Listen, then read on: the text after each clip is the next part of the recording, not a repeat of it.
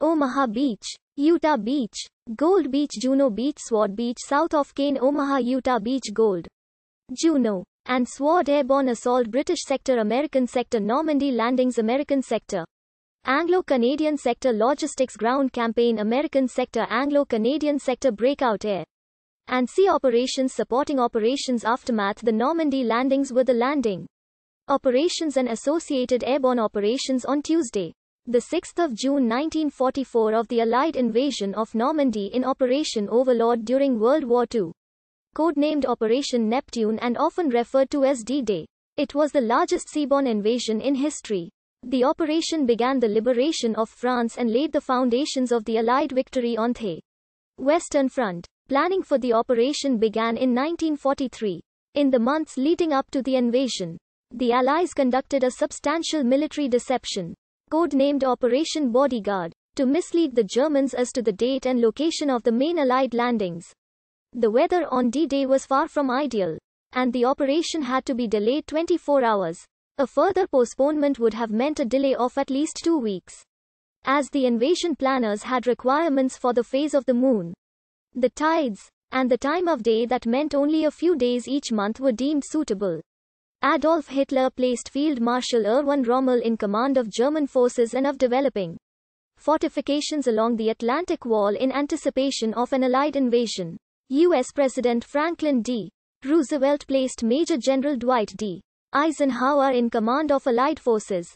The amphibious landings were preceded by extensive aerial and naval bombardment and an airborne assault. The landing of 24,000 American, British, and Canadian airborne troops shortly after midnight. Allied infantry and armored divisions began landing on the coast of France at 6:30. The target 50-mile stretch of the Normandy coast was divided into five sectors. Utah, Omaha, Gold, Juno, and Sword. Strong winds blew the landing craft east of their intended positions, particularly at Utah and Omaha. The men landed under heavy fire from gun emplacements overlooking the beaches.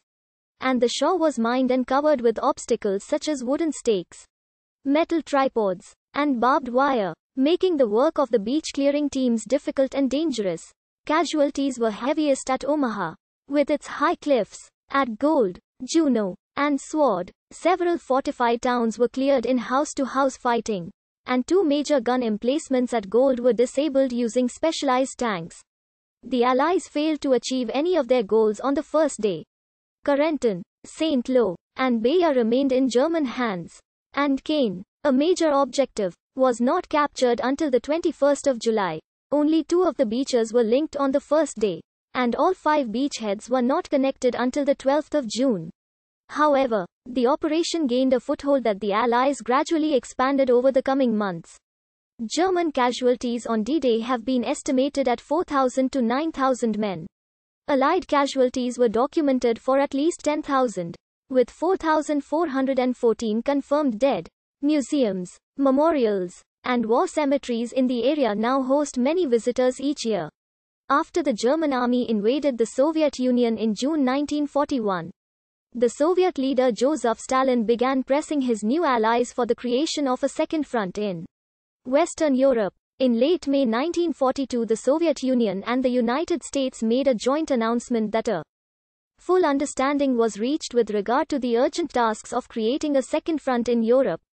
In 1942, however, British Prime Minister Winston Churchill persuaded US President Franklin D.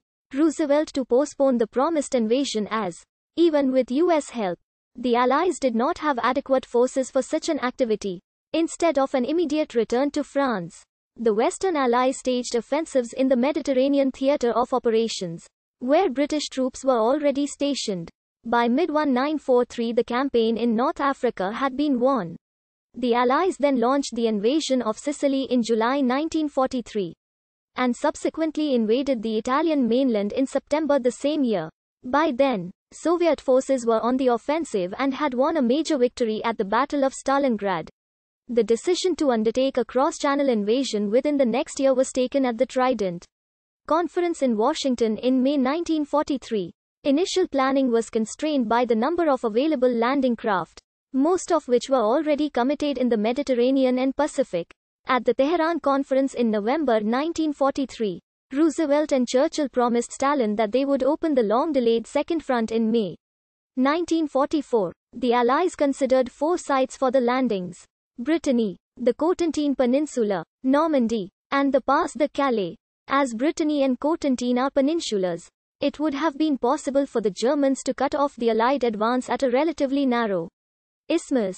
So these sites were rejected. With the Pas